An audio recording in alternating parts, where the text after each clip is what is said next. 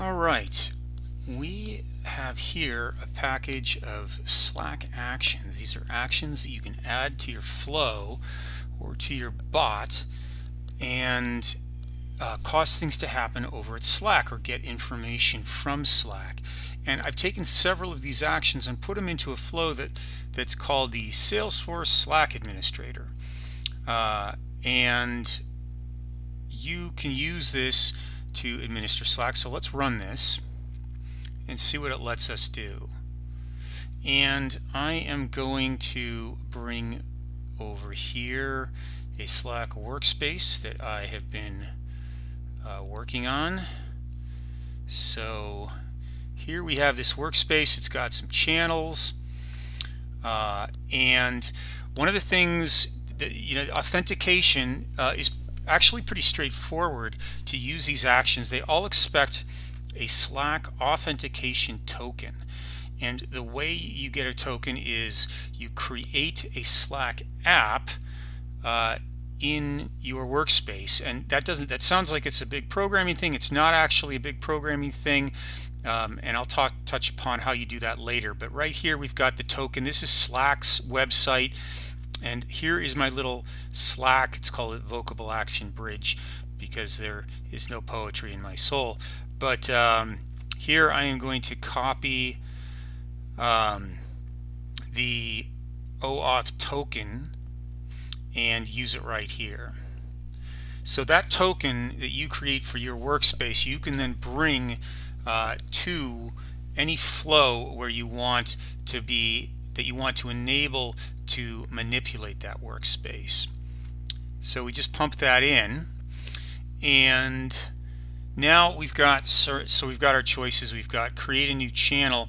Let's start with that and create a new channel called uh, unofficial SF so I'm successful uh, but interestingly if you go over here uh, we won't actually see it on this list. Can you, can you figure out why? The reason that we don't see this unofficial SF here is that we haven't invited anyone to it and what we're looking at, we are logged in.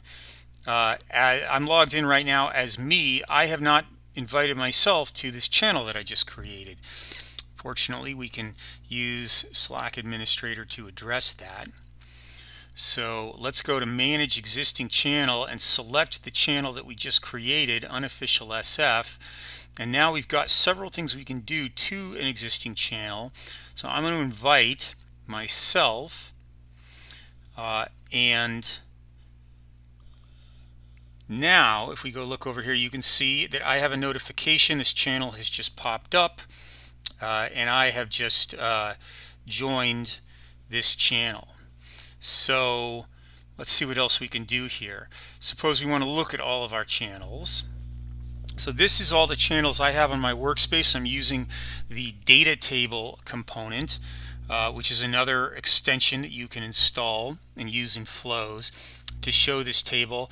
Uh, pulled some different information uh, and um, so this is useful. It's particularly useful when you're working sometimes when you're working with these actions you you need the ID uh, which isn't always um, readily at hand. So we've got that.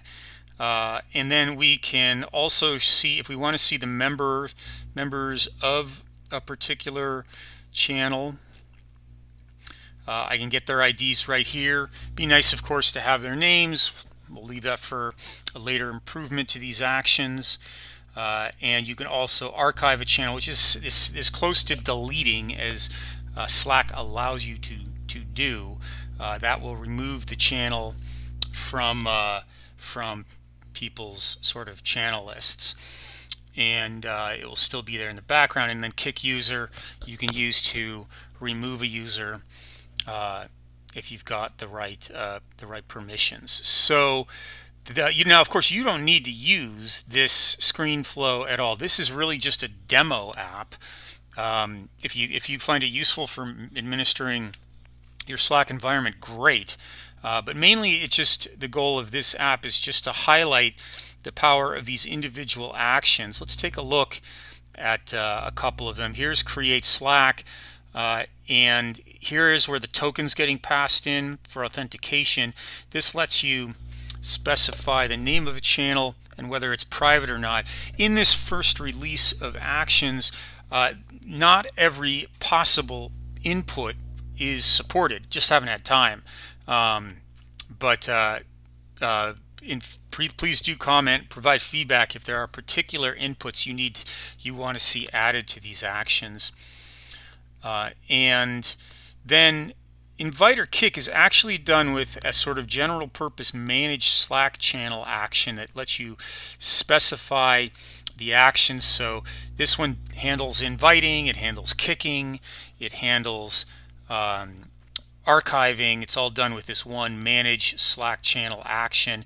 And uh, you can find all of these if you uh, install the package that is available that contains all of these. You'll find them all here in the new action uh, screen and you can provide the action name channel ID some some forms of management involve a user uh, or a list of users so you kind of have to know based on which action you're picking uh, which ones of these inputs to use uh, in a future release we'll try and get a custom property editor here that that does this a little more elegantly but we just wanted to get this available so people could start running with it. Uh, and here's get channel list, archive, a bunch of other things. So so here uh, here you go. I hope this is a useful uh, package and uh, let us know how things go.